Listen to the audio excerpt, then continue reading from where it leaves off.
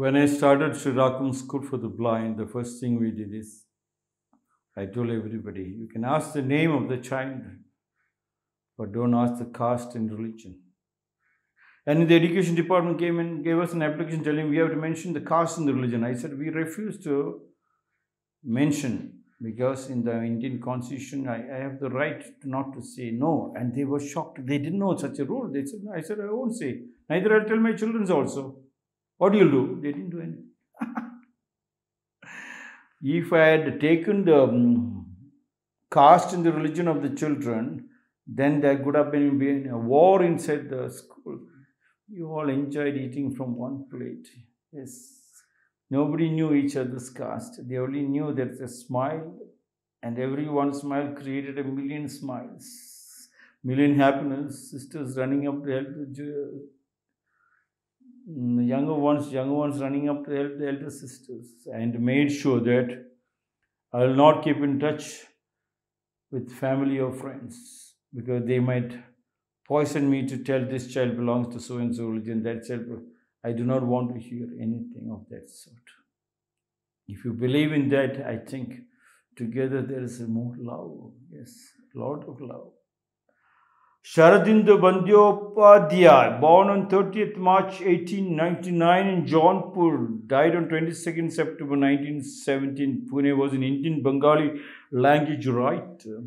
He was white, he was actively involved with Bengali cinema as well as Bollywood the creator of the Bengali detective Byomkesh Bakshi. Sharadindu composed stories of a wide array of varieties, including novels, short stories, crime and detective stories, plays, and screenplays. Sharadindu said, The day that man discovered the tools to kill another human being, he also brought into being a weapon that could boomerang upon him at any time. The sophisticated weaponry that is in great secrecy being produced all over the world today might one day serve to destroy the entire human race. Like the demon who sprung into being from Brahma's imagination like Frankenstein's monster. It only inspires creators. Don't you think so? Sharadindu said, The day man discovered the tools to kill another human being, that is my fight. When the Ukraine war between Russia's happened, I said, please, NATO and America, keep aside, go and just create a war on a war footing to remove all the weapons, including the weapons which you are holding from around the world. That should be our campaign. The weapon is nothing but a hate campaign. One hate leads to 10,000 hates, one love leads to 10,000 of love. Even the NATO countries, the seven richest industrialized countries, are Christian countries the NATO are Christian countries. And the Bible says, Love thy neighbor as thyself. That Jesus Christ has proved love can move mountains and oceans. And if love is there, there is only one way. Remove all the weapons. Sharadindu said, Way back in 1800s, the day that man discovered the tools to kill another human being, the day the husband discovered the tools to suppress the women to make her a slave. He also brought into being a weapon that boomerang upon him at any time. He also brought in another hate. That hate was the disease. That time there was no disease. The, the, the moment the man suppressed his women and made her a slave, made her a maid servant, all diseases came into the house. And mother-in-law and daughter-in-law fights erupted like uh, Russia and Ukraine war.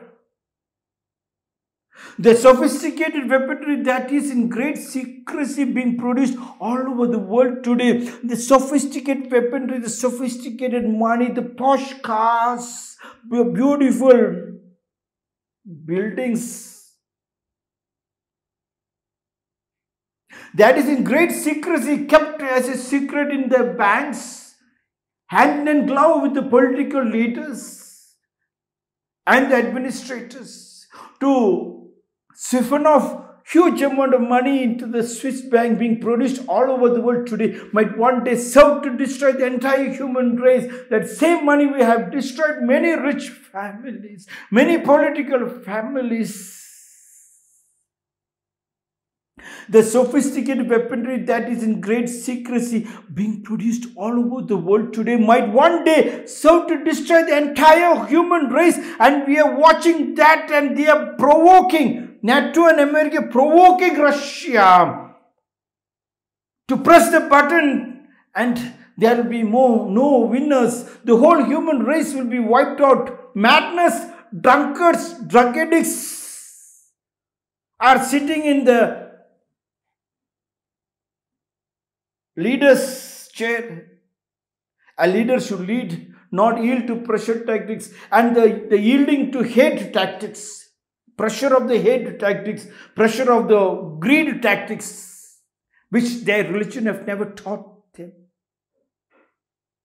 Sri Aurobindo said, like the demon who sprung into being from Brahma's imagination, like Frankenstein, it won't even spare its creators whatever they create. The same will swallow them back. Their own children are swallowing them back. Their own children are throwing them into the old age home the greed. Dear lovers, don't leave any, any money for the children except education. All the money, please rush up and give to Rakum School. Sorry, give, give to all the NGOs. Let them create some smiles. Otherwise, if the more you keep it in your bank, into huge, huge buildings, there is only pain because it is like the food you eat and never go to the toilet. And constipation is the biggest disease in you. That money is the constipation. Every day, what you make it on the spot, on the spot, like take see on the spot, clean up what is needed for the housekeeping. Balanced, give it off. Like Mother Teresa said, one to use, one to wash, one to dry. Only three kilos, not more than that. Please give it off. And together we can have a loving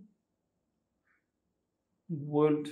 A world where you can see happiness in every moment of your feelings. Didn't the trees give off fruits? And they still continue to give fruits whether they said thanks or not. That will be the family which all the religious leaders, all the churches, temples, and masjids have taught. A family which sits together and shares immediately. Brothers become rich and don't take care of the younger brothers. Elder sisters become rich and don't give to the elder, younger sisters. Equally, equally share it on the spot and empty it up. And then you can see a massive rush like an ocean of money and power and plow coming into you and only health and no disease, which you cannot buy from any market. Your health diseases simply come in because of your greed of possessing for your children. Don't send your children to high tech schools. There is no high tech schools. Don't send your children to tuition classes. They are the destroyers of your house. Ask them to sit in your house and hug your parents and grandparents and listen to the stories and create medicinal plants and together do your samskruti. Sri Aurobindo said, the day that man discovered the tools to kill another human being, he also brought into being a weapon that could boomerang upon him at any time and you are seeing that now. The same lab, biological, biotech lab which they created biological weapons convert, got converted into corona and they destroyed the same country first same country, the same creator. And now you can see the same hate of Ukraine and uh, Russia, and the whole world is clapping from behind and uh, putting oil into the fire, weapons into the fire, more, more weapons. NATO nasty. NATO should uh, change the name to nasty and then go with flowers. Talk to the fighters and stop. Yes, stop Stop the war. To stop the war, we all have to take a pledge to empty all the weapons from around the world. No weapons, nobody carry weapons. When you are not allowing people to carry weapons, how dare you keep weapons? You governments, how dare you keep weapons? How dare you keep hate and greed? The day the man discovered the tools to kill another human being, he was brought into being a weapon that could boomerang upon him at any time. The sophisticated weaponry that is in great secrecy being produced all over the world today might one day serve to destroy the entire human race.